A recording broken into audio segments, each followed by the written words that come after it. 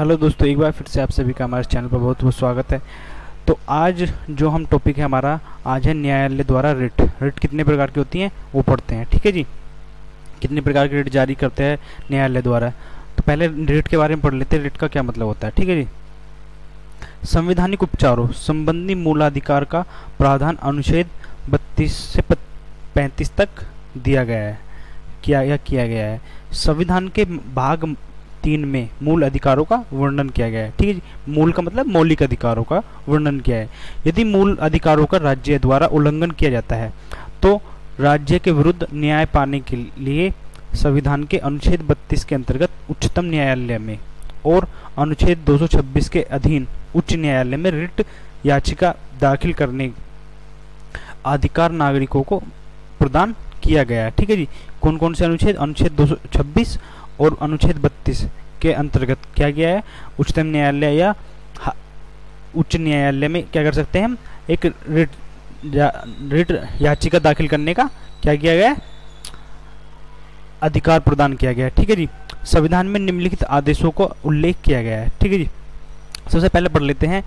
Number एक point है बंदीकरण प्रत्यक्षीकरण। इसको क्या बोलते हैं? Habeas corpus. क्या मतलब है इसका? शरीर को सामने पेश करो। दूसरा है परमादेश। मैंडमस, इसका मतलब है हम आज्ञा देते हैं, ठीक है जी? तीसरे का मतलब है, तीसरा है हमारा प्रतिषेध हिट यानी कि प्रोहिबिशन किसी काम को करने से रोकना या मना करना। चलो जी, अगला पॉइंट है, प्रत्यक्ष उत्प्रेक्षण लेख रिट टू सेरेटोरियल सेरेटोरियल पूर्णतः सूचित कीजिए। पांचवा है, अधिकार पक्ष कुआ वारंटो किस अधिकार से? चलो ये एक एक करके उसका मतलब पढ़ लेते हैं। अब आता है हमारे सामने, बंदी बंदी प्रत्यक्षीकरण हैबियस कॉर्पस। तो इसका पहला मतलब ये कहता है, यह रिट उस अधिकारी अधिकारी मतलब जिसको अथॉरिटी होती है, के विरुद्ध दायर किया जाता है, जो व्यक्ति को बंदी बनाकर बंदी बनाकर रखता है, इस रिट को जारी करके कैद करने वाले अधिकारी को यह निर्देश दिया जाता है कि वह गिरफ़्तार व्यक्ति को न्यायालय कोर्ट में प्रेस करे। इस रिट से को इस रिट का उद्देश्य मूल अधिकार में दिए गए दैहिक स्वतंत्रता के संरक्षण का अधिकार है। ठीक है जी? का अनुपालन करने का है। यह रिट अवैध बंदीकरण के विरुद्ध प्रभावी कानूनी राहत प्रदान करता है। अवैध मतलब जैसे मान लो, उसने कोई अपराध नहीं किया और उसने आपको, उसने क्या कर उसने क्या बोल लिया, आपको बंदी बना लिया है। तो आप उसके खिलाफ क्या कर सकते हैं? एक याचिका दायर करके फिर कोर्ट क्या करेगा? एक रिट जारी करके उससे राहत दिलवा सकता है। ठीक है जी? अगला पॉइंट परमादेश। परमादेश का मतलब होता है, हमने आगे बढ़ा था, हम आज्ञा देते हैं।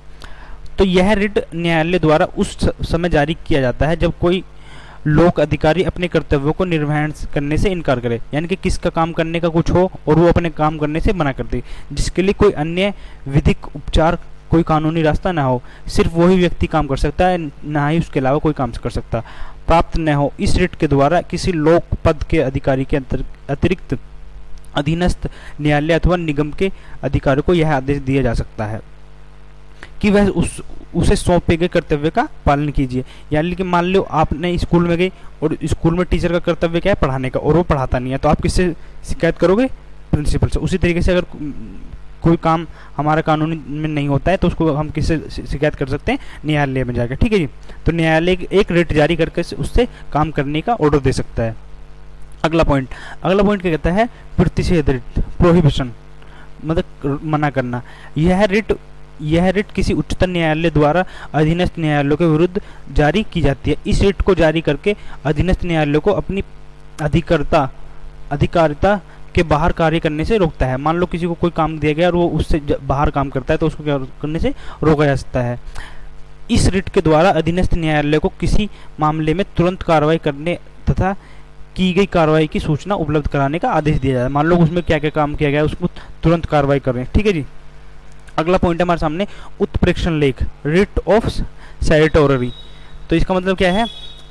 यह रिट भी अधीनस्थ न्यायालयों सब ऑर्डिनेट कोर्ट्स के विरुद्ध जारी किया जाता है। इस रिट को जारी करके अधीनस्थ न्यायालयों को निर्देश दिया जाता है कि वे अपने पास संचित मुकदमे के निर्णय लेने के लिए उस मुकदमे को वरिष्ठ न्यायालय अथवा उच्च न्यायालय को भेजें। उत्प्रेक्षण लेख का मतलब मत, मतलब उच्चतम न्यायालय द्वारा अधीनस्थ न्यायालय। अधीनस्थ मतलब निचली न्यायालय जो होती हैं।